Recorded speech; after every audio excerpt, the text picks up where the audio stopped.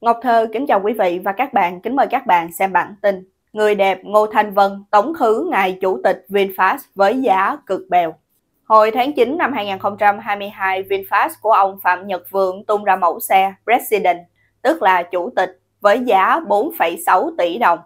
Ông Vượng định dạng phân khúc cho President là Lexus LX 570, Mercedes GLS hay BMW X7 đây là tham vọng cực kỳ lớn bởi thời điểm đó VinFast chỉ là đứa bé tí hon thách đấu với các gã khổng lồ. Hình ảnh giá xe chủ tịch của VinFast khi mới ra lò. President là mẫu SUV cỡ lớn, vẫn có 7 chỗ nhưng lắp máy 6.2 V8. Về thiết kế thì vẫn dựa vào Lux SA 2.0 nhưng tinh chỉnh và thêm một số tính năng công nghệ.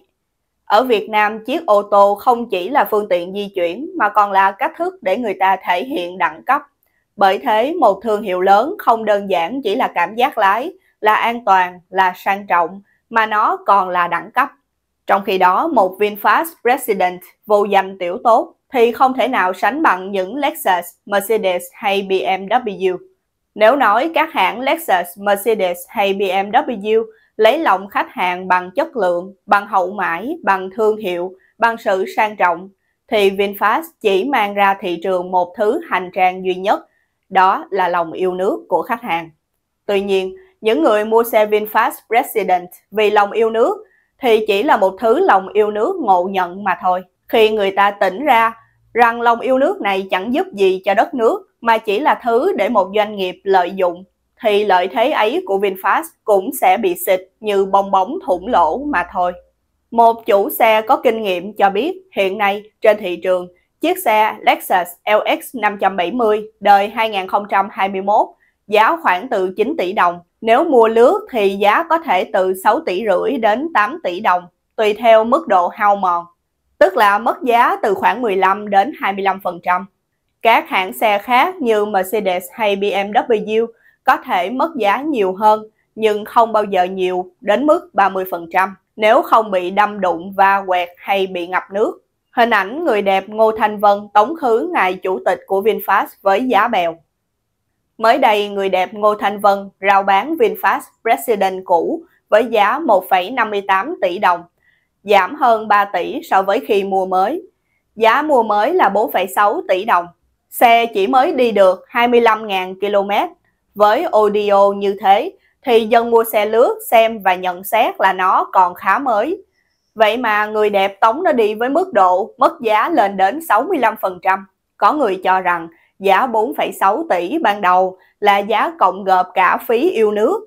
Khi lòng yêu nước nhạt dần thì giá trị của chiếc xe sẽ trở về đúng với giá trị thật của nó. Hiện nay VinFast đã chuyển hoàn toàn sang sản xuất xe điện trong năm qua, cộng đồng mạng đã bóc phốt nhiều vấn đề của hãng này. VinFast không xây dựng công nghệ lõi cho riêng mình, mà thuê các công ty nước ngoài, đặc biệt là các công ty Trung Quốc thiết kế theo dạng chìa khóa trao tay.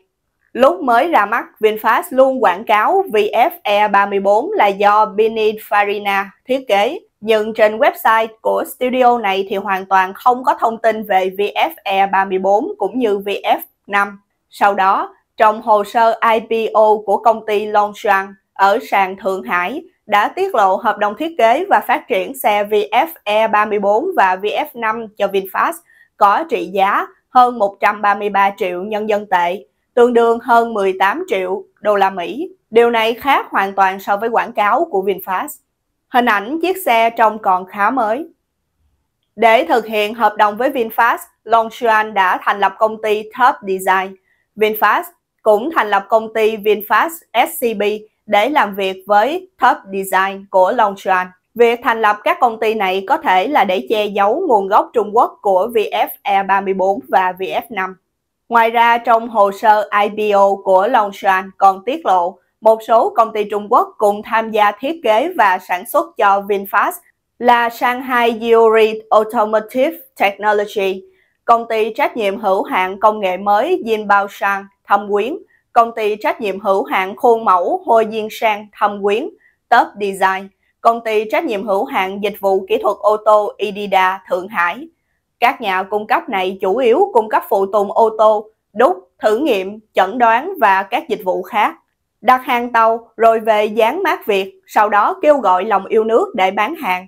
Những giá trị mà VinFast tạo ra không phải là giá trị thật và giá bán của chiếc chủ tịch đã nói lên tất cả.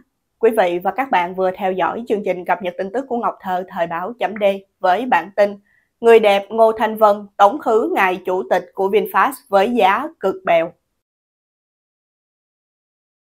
Ngọc Thơ kính chào quý vị và các bạn, kính mời các bạn xem bản tin Bất lực trước Trần Quý Thanh, Tô Giác Vàng cầu cứu nghĩa tuyên giáo. Việc bắt nghi phạm và chứng minh nghi phạm có tội là trách nhiệm của cơ quan tố tụng hình sự. Trách nhiệm đó thuộc quyền hạn của cơ quan điều tra.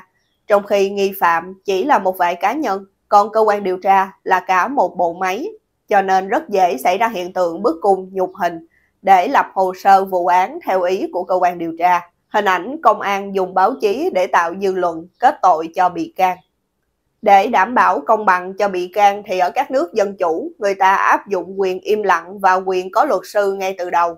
Quyền im lặng giúp cho nghi can tạm thời tự bảo vệ trước áp lực quá lớn của bộ máy điều tra và cũng tránh cho nghi can không bị lỡ lời mà nói những điều bất lợi cho bản thân. Nghi can có quyền im lặng cho đến khi có luật sư đại diện để luật sư hướng dẫn họ nên nói những gì để có lợi và nói những điều gì sẽ gây bất lợi cho họ. Với pháp luật chặt chẽ và nhân bản như vậy, các nước dân chủ đảm bảo cho nghi can có được sự công bằng trước pháp luật, cho dù nghi can có là tội phạm gây ra tội ác nghiêm trọng và có bằng chứng rõ ràng. Việc có luật sư ngay từ đầu như là người bảo vệ và cũng là bên thứ ba để giám sát cơ quan điều tra, để tránh bước cung, nhục hình, hàm oan cho nghi can. Ở Việt Nam thì khác, luật pháp không được soạn bởi những đại diện chân chính cho dân, mà là do những người đại diện cho đảng Cộng sản, nhưng lại mạo danh là đại diện cho dân soạn thảo. Cho nên ngay từ trong luật đã trao cho cơ quan điều tra những cơ hội để họ có thể ra tay với nghi can. Miễn sao điều tra viên đạt được kết quả như mong muốn, còn đúng người đúng tội hay không thì với họ không quan trọng. Chính vì thế mới xảy ra tình trạng lạm sát ngay tại cơ quan công an.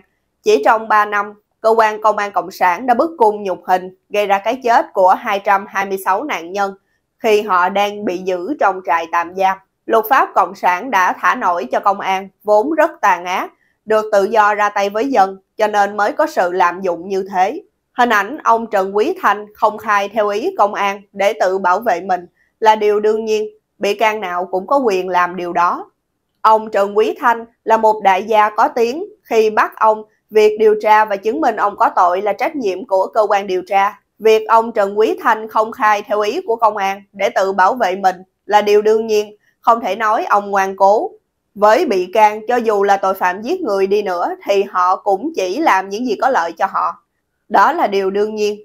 Việc cơ quan điều tra tố ông Trần Quý Thanh là ngoan cố, điều đó cho thấy họ đang bất lực. Họ cố ép ông nhận tội mà không được, nên quay ra tố bị can là ngoan cố một chiêu trò có thể nói là rất bẩn thỉu của cơ quan điều tra Cộng sản.